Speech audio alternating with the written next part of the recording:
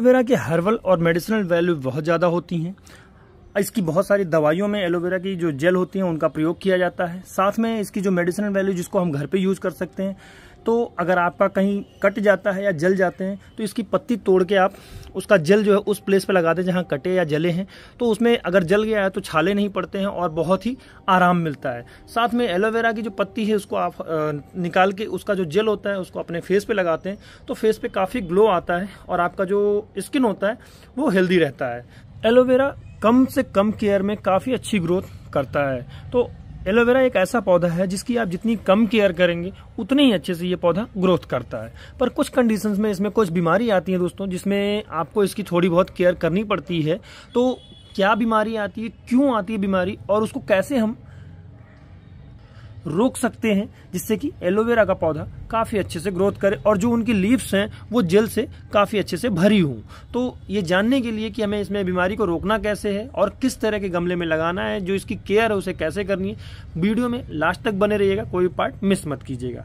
तो दोस्तों, वीडियो शुरू करते हैं।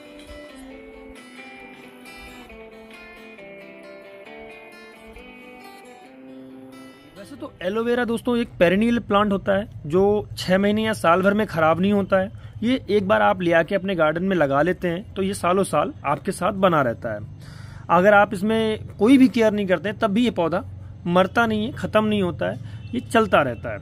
अब दोस्तों बात करते हैं एलोवेरा एक सेकुलेंट प्लांट है, जिसमें जो इसकी लीव्स होती हैं, इसमें जेल स्टोर होता है, जिसकी वजह से इसमें वाटरिंग कम से कम की आवश्यकता होती है। जितने भी सेक्यूलेंट प्लांट होते हैं, उनकी लीव्स में पानी वो स्टोर करके रखते हैं तो उन्हें पानी कम से कम चाहिए होता है मिट्टी में। अब दोस्तों, बात कर लेते हैं इसमें एलोवेरा को लगाना किस तरह की मिट्टी में है। तो देखिए, नॉर्मल मिट्टी जो आपकी गार्डन की है, उसी में आपको लगाना है। बस मिट्टी का जो नेचर होना चाहिए, उसमें पानी होल्ड नहीं होना चाहिए, रुकना नहीं चाहिए। अगर पानी रुकेगा तो एलोवेरा का पौधा, जैसा कि मैंने आपको बताया, इसको पानी बहुत ज़्यादा नहीं चाहिए होता है। तो पौधे में फंगस आने लगेगा और पौधा खराब होने लग जाता है। तो आपको मिट्टी में ये ध्यान रखना है, मिट्टी ऐसी बनानी है जिसमें पानी बिल्कुल भी होल्ड ना हो। दूसरी चीज़ एलोवेरा के लिए आपका जो पॉट सिलेक्शन है, इसको गहराई बहुत नीचे होती है, क्योंकि इसमें बहुत ज़्यादा रूट्स नहीं होती हैं। ये जितना चौड़ा आप टब में या फिर इस प्रकार से ग्रो बैग में या किसी गमले में जिसकी चौड़ाई ज़्यादा हो, उसमें लगाते हैं। तो इसमें जो नए नए पप्स आते रहते हैं, उनके लिए स्पेस होता है। तो इनको गहराई नहीं, चौड़ाई की आवश्यकता होती है। तो ऐसे पॉट का सिलेक्शन करें, जो जिनका फेस चौड़ा हो, मुँह चौड़ा हो। अब दोस्तों, इसके बाद हम बात कर लेते हैं इसकी जो प्लेसिंग है क्योंकि कई लोग कहते हैं एलोवेरा को जो है सनलाइट ज़्यादा नहीं चाहिए, या फिर इसको इंडोर रख सकते हैं या नहीं रख सकते। तो ये पौधा ऐसा पौधा है, इसको आप इंडोर भी रख सकते हैं आउटडोर भी रख सकते हैं। इंडोर रखने के जो बेनिफिट्स हैं, ये पौधा रात में भी ऑक्सीजन रिलीज़ करता है, और जो एटमॉस्फेयर में, एयर में केमिकल्स मौजूद होते हैं, उनको ये खत्म करके फ्रेश करता है। तो इंडोर इसको रखा जा सकता है। ब्राइट लाइट में ये पौधा काफ़ी अच्छा चलता है और मीडियम लाइट में भी काफ़ी अच्छे से ग्रोथ करता है। लेकिन अगर आपको बहुत अच्छी ग्रोथ चाहिए, एक गमला पूरा एलोवेरा से भर जाए, इतना ग्रोथ चाहिए तो आपको इसको रखना है फुल डे सनलाइट में। सनलाइट से पौधे को कोई नुकसान नहीं है। आप इसे चार से छह घंटे, आठ घंटे, दस घंटे की धूप में भी रख सकते हैं।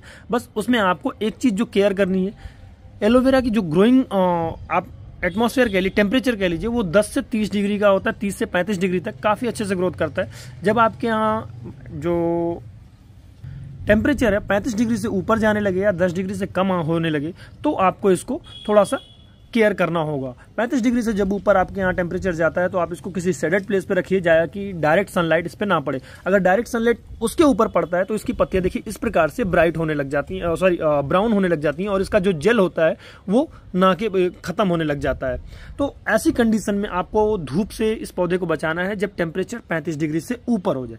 पैंतीस डिग्री से नीचे है तो आप फुल डे सनलाइट में इस पौधे को रखिए, ये पौधा काफ़ी अच्छे से ग्रोथ करेगा। तो ये मैं आपको दिखाऊँ, ये ऐसा इसलिए हुआ है क्योंकि अभी बारिश में लगातार हमारे यहाँ करीब दो हफ़्ते बारिश हुई है तो पौधे में लगातार पानी गिरता रहा है तो पानी भी एक्सेसिव मात्रा में हो गया। इस वजह से इसमें कुछ फंगस जो आप देख रहे हैं, ये पत्तियाँ ब्राउन हो रही हैं, और उसके बाद दो से तीन हफ़्ते लगातार कॉन्टिन्यूस काफ़ी हैवी सनलाइट रहा है, काफ़ी तेज धूप रही है, और मैं इस पौधे को में जो ये मेरा मेन मदर प्लांट है, इसको मैं शेड में रखना भूल गया था।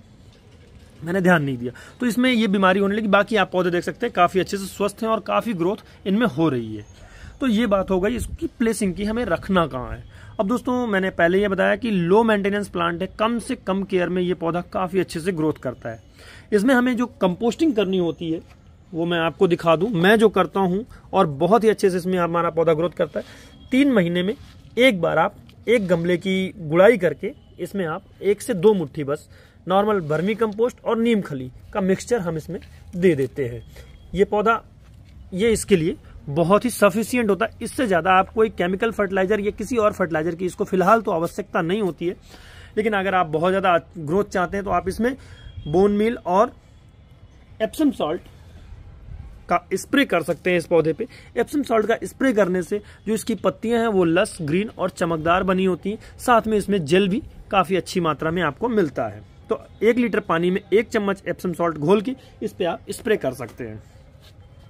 अब दोस्तों, काफ़ी अच्छी ग्रोथ जो आपके पौधे की होनी चाहिए, उसके लिए जो एलोवेरा टाइम टाइम पे पप्स इसमें निकल नए नए पप्स बनते रहते हैं। देखिए, पौधा कितना घना हो जाता है एक गमले में। तो इस पप्स को आपको निकालते रहना है और निकाल के आप नए प्लांट्स इनसे रेडी कर सकते हैं, तैयार कर सकते हैं। तो जितने आप ये पप्स निकालते रहेंगे तो जो मदर प्लांट है, वो आपका काफ़ी घना होगा और मज़बूत होगा, जिससे कि उसकी जो पत्तियाँ होंगी, वो, ये देखिए इस प्रकार से जल से भरी हुई होंगी। देखिए, बिल्कुल दब नहीं रही, इतना जल इसमें पत्तियों में है। तो पप जो पप्स हैं, उन्हें आप निकालते रहिए और सेपरेट करते रहिए तो आपके पास पौधे भी हो जाएँगे। देखिए, एक पौधे से हमने इतने सारे पौधे तैयार किए हुए हैं, और आज फिर मैं इनमें जो पप्स बने हुए हैं, उन्हें निकाल के, ये जो ग्रो बैग हमने तैयार किया इसमें लगाएँगे। एलोवेरा में जो बीमारी आती है दोस्तों उसकी बात कर लेते हैं तो इस प्रकार से पत्तियाँ इनकी ब्राउन हो जाती हैं और इनके जेल जेल जो पत्तियों में होती हैं वो खत्म होती हैं। और साथ में एक बीमारी मैं आपको और दिखाता हूँ इस प्रकार से देखिए ये ब्लैक डॉट्स जो होते हैं ये आ, आते हैं।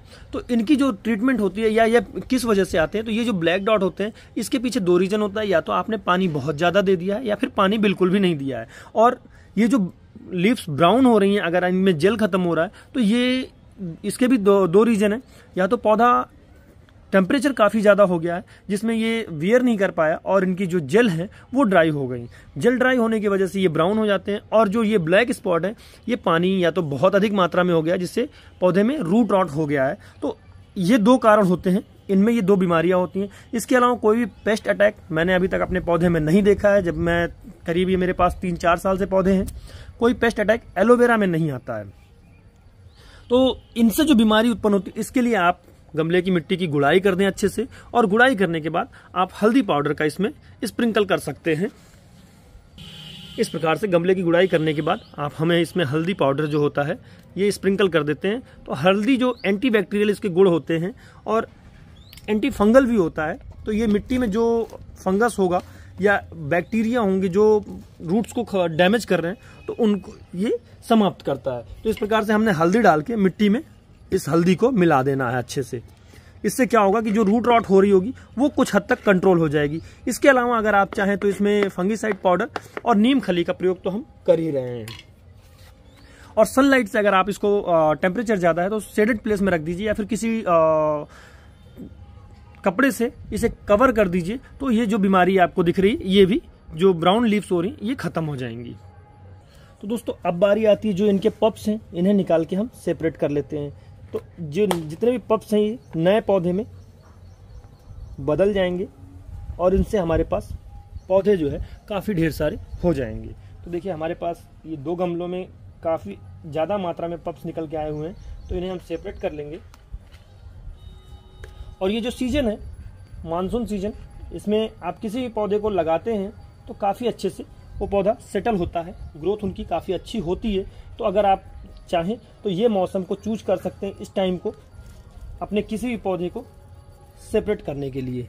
तो इस प्रकार से हमने कुछ पप्स निकाल लिए हैं और इन्हें हम, जो हमारे गमले में हमने ग्रो बैग में मिट्टी भर के तैयार की हुई है, उसमें ट्रांसप्लांट कर देते हैं। मिट्टी हमने आपको पहले ही बता दिया बिल्कुल नॉर्मल मिट्टी लेनी है। बस उसका जो ड्रेनेज सिस्टम है, वो मज़बूत होना चाहिए, काफ़ी अच्छा होना चाहिए, जिससे कि पानी उसमें बिल्कुल भी होल्ड ना हो। अगर पानी होल्ड होगा तो पौधा आपका खराब हो जाएगा।